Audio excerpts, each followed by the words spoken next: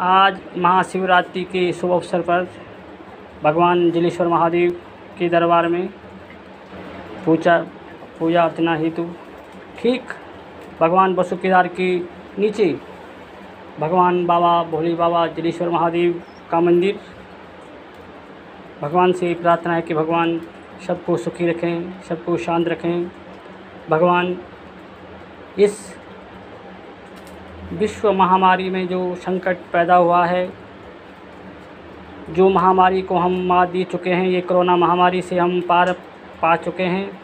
लेकिन अब जो अभी विश्व में जो यूक्रेन और रू, रूस के विरुद्ध जो महायुद्ध चल रहा है उस युद्ध की शांति हेतु तो भगवान जलेश्वर से प्रार्थना करता हूँ। भगवान इस विश्व युद्ध को शांत रखें। निर्दोष लोगों की जो वहाँ पे दुर्दशा हो रही है, जो वहाँ पे मृत्यु हो रही है, उसको दूर करें। सद्बुद्धें हट धर्मता धर्मता को छोड़ दें। सुख शांति हेतु भगवान से प्रार्थना कर रहा हूँ। भारत एक विश्व बंधुत्व की भावना से काम करता है, विश्व शांति के लिए काम करता है। भारत चाहता है कि विश्व बंधुत्व बना रहे और इस प्रकार की जो